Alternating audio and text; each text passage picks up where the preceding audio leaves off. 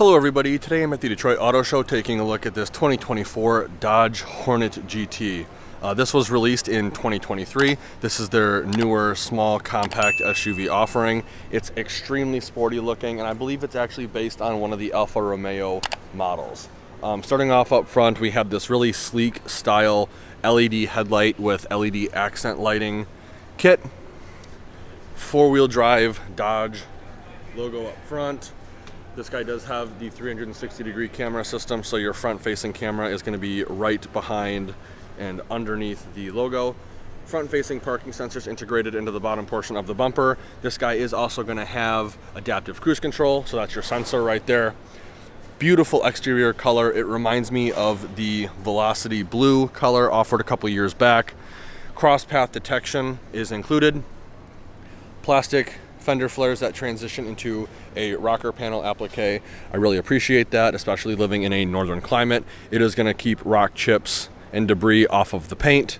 Coming down to the wheel and tire setup, it looks like we have some Goodyear, uh, what is this? Territory all-season tires. And if I can see the tire size, I'll let you guys know, but I can't see it quick enough so I do apologize on that. It looks like it's about a 17 inch wheel, and maybe an 18 inch wheel. Blacked out Hornet badging on the quarter panel right here. Black mirror cap, your mirror mounted camera is gonna be right there. Blind spot monitoring, it does, it's right there. It's kind of hard to see, but it is included. This guy has passive entry, so as long as you have the key fob on you, you can lock and unlock the vehicle from the driver or passenger door. On the passenger side, we have your uh, capless fuel fill port right here. Coming around to the back, I love, love, love this tail light setup.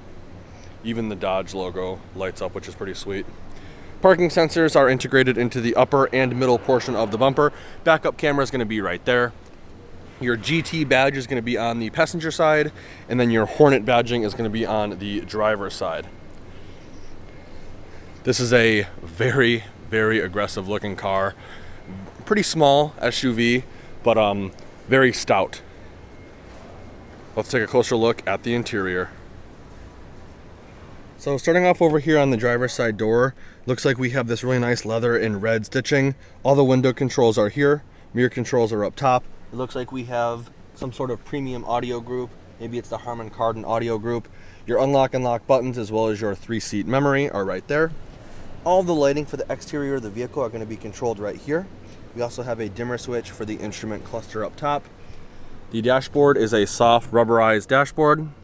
Coming down to the instrument cluster, it looks like it is 100% digital, which is awesome.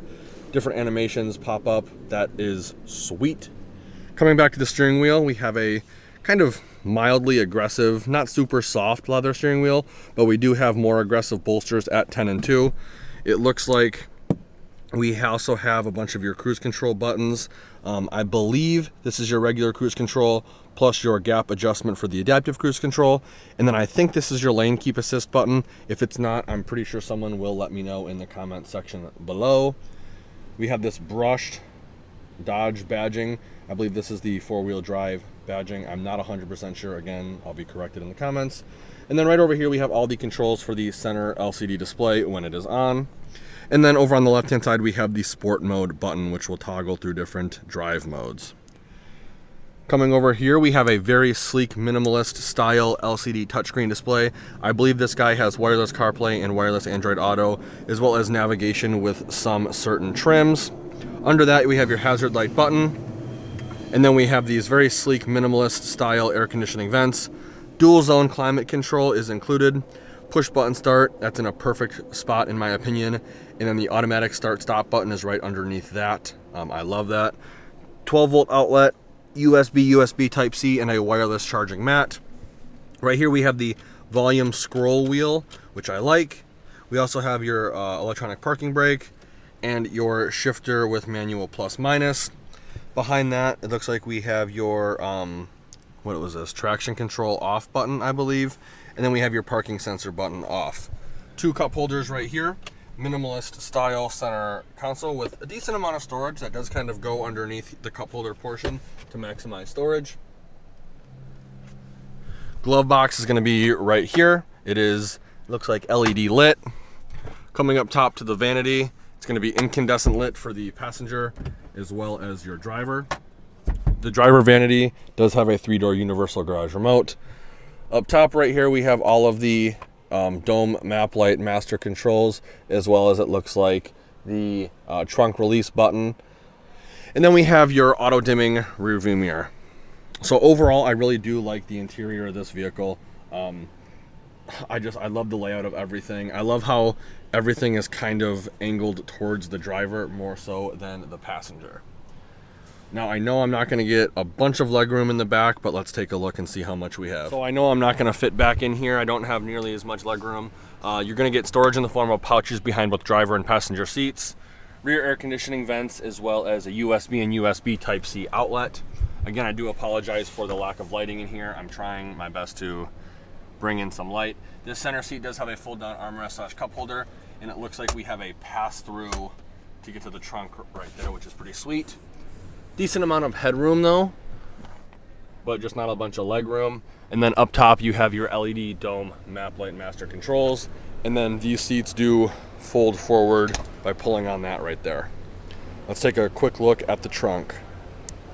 So to open the trunk, you're gonna come up to the right side of the backup camera. There is a button.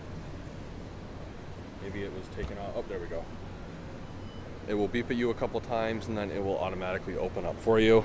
Looks like this has a privacy shield uh, included. In-floor storage right here around the, looks like uh, full-size spare.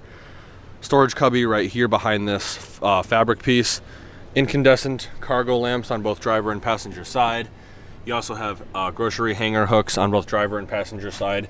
And then on the driver side, you have a 12 volt DC outlet. And like I said earlier, you have a pass through through the front. So if there's something that needs to be gotten in the back, your passengers can reach through here and get it. You also have some D-rings on both driver and passenger sides. Now when you're done back here, you can come up to the right, click this button, it'll beep and then it will lock for you. And then you can also lock the vehicle by pushing the button to the right of that. Let's see, did I do it right? There we go. Just gotta beep a couple times. It's too early in the morning. All right, let's take a quick look at the uh, window sticker. So here's the window sticker for this vehicle. Again, it's a 2024 Dodge Hornet GT, starting at 30,735, 268 horsepower, 295 foot-pounds of torque, and a top speed of 140.